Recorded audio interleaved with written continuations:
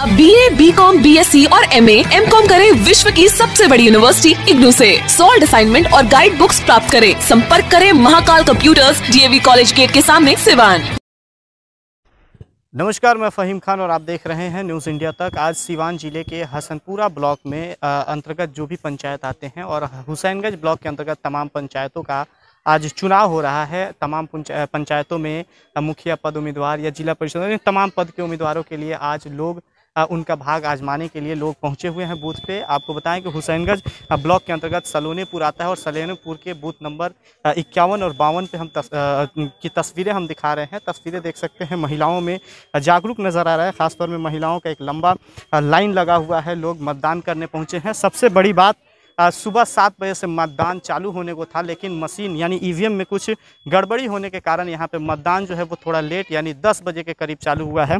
तमाम महिलाओं का लाइन देख सकते हैं आप पुरुषों से ज़्यादा महिलाओं में ज़्यादा जागरूकता नज़र आ रहा है। कुछ महिलाएँ हैं इनसे जानने की कोशिश करेंगे किन मुद्दों के साथ आज वोट करने पहुँची हुई हैं। क्या नाम हुआ आपका? जरीना खातून। किन मुद्दों के साथ आज वोट करने पहुँचे? विकास के लिए। विकास? क्या पाँच साल में विकास नहीं दिखा? बहुत हुआ। जी? लगा नाला बना हर चीज़ का विकास हुआ। है यहाँ पे जो यहाँ यहाँ जो लेट से आज जो चुनाव चालू हुआ है इसको लेकर क्या कहेंगे? इसको लेकर यही कहेंगे तो हम बात किए तो वो बोल रहे हैं लोग कि जब तक मतलब वोट कंप्लीट नहीं होगा तब तक दिलाता रहेगा।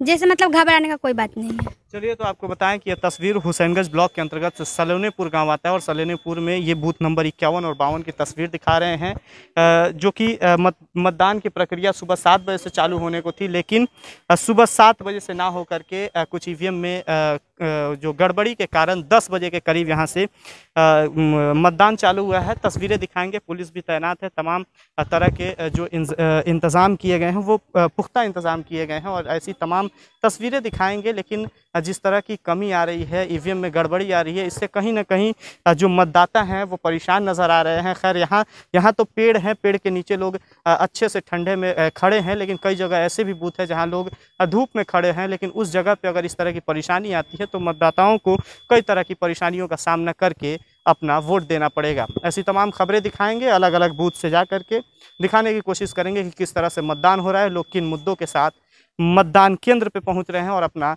मतदान कर रहे हैं। ऐसी तमाम खबरें दिखाएँगे। बने रहिए न्यूज़ इंडिया तक के साथ।